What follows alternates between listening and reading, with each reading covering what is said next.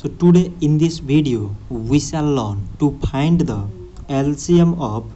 10 20 and 40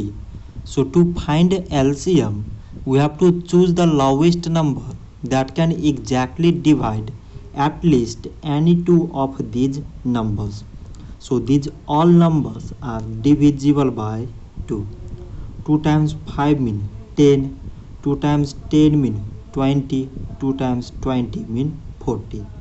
so now we got 5 10 and 20 among them 10 and 20 are exactly divisible by 2 5 not divisible so it is same. 2 times 5 mean 10 2 times 10 mean 20 so now we got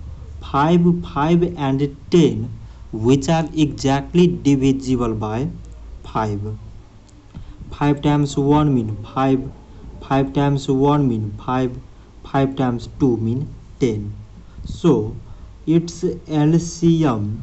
is equal to from this side it is 2 2 and 5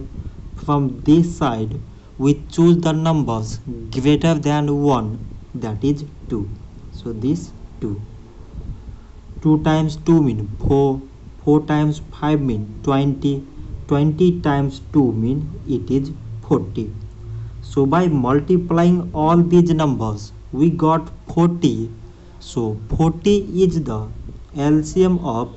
10 20 and 40 so this much for today and thanks for watching